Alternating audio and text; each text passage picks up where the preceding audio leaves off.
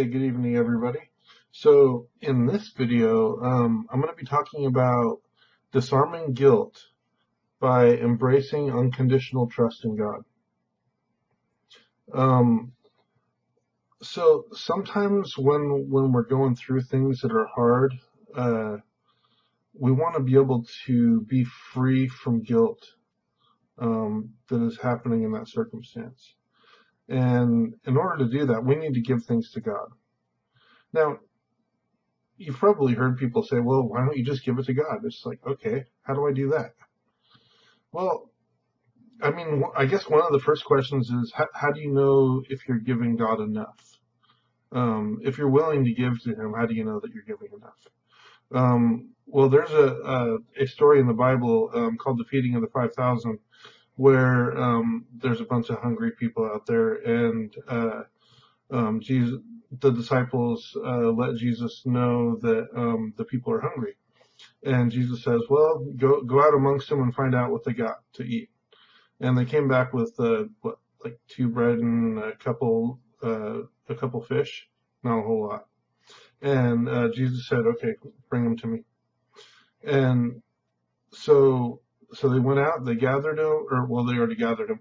They, they brought them to Jesus, and what Jesus did was he lifted up to heaven and he gave thanks to God. And then he handed it to the, to the disciples and he said, Now go and give it to the people. And they were just like, Huh? Okay, yeah, we're going to do that. And then what? And then what? And then what? Um, and what happened was all of the people ate. 5,000 uh, men plus women and children. He multiplied it. So when something passes through his hands, he has the power to multiply it.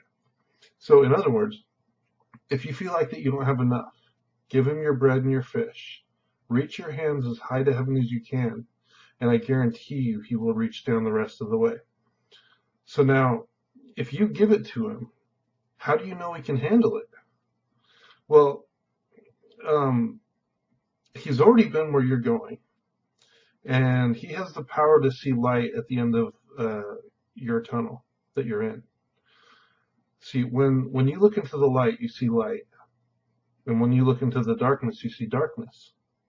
When God looks into the light, he sees light, and when he looks into the darkness, he sees light. So he has the ability to see the light in the darkness that you're currently facing. And so, um, you could ask God, you could say, well, God, uh, um, what is the light that you see in this darkness that I'm experiencing? And the interesting answer is that we, we don't need to know because we've already established that he can see the light in that darkness. So now we've come to the point of stepping into the realm of faith um, and trust in Him. So, when you want to give something uh, to God, think about it this way. Let's say that you have a gift that you want to give someone for their birthday, for Christmas or whatever. Um, you go and buy the gift, then you lose it. Whose responsibility at that time is it to replace that gift? I mean, if you want to give it to the person, you're going to either need to replace, you're either going to need to find it where you lost it, or you're going to need to repurchase it. But what happens when you give that gift to them and they lose it? Then whose responsibility is it? Is it yours? Nope. It is their responsibility. Why? Because it's theirs. You gave it to them. You did a transaction. See, when you accept Jesus into your heart as your Lord and Savior and you believe in Him through faith, you're doing a transaction. You're moving from from the kingdom of darkness to the kingdom of heaven just by belief. It's that easy. It's a transaction. And so when you give something to God in this way, you're actually seriously giving it to him. You're making that transaction um, with him. And so God's willing to take all the problems off our hands if we're if we're willing to give it to him. So um, so after you give it to him, if you see the circumstance get better, well, there's no guilt, obviously, because there's no need for guilt. Um, but if you see it get worse, you don't need to um, have any guilt on your shoulders. Why? Because you gave it to God. And so if it becomes his, you're you're literally abandoning yourself to him.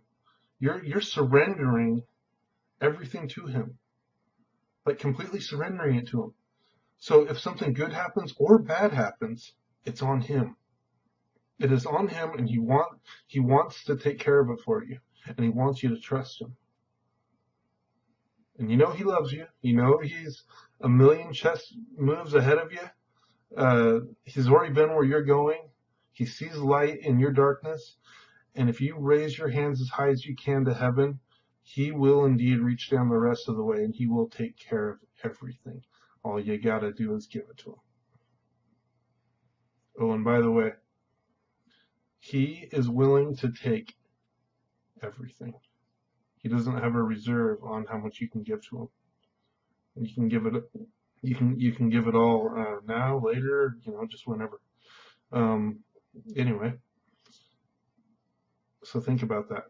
Think about surrendering to God by giving giving things to Him. Grace and peace.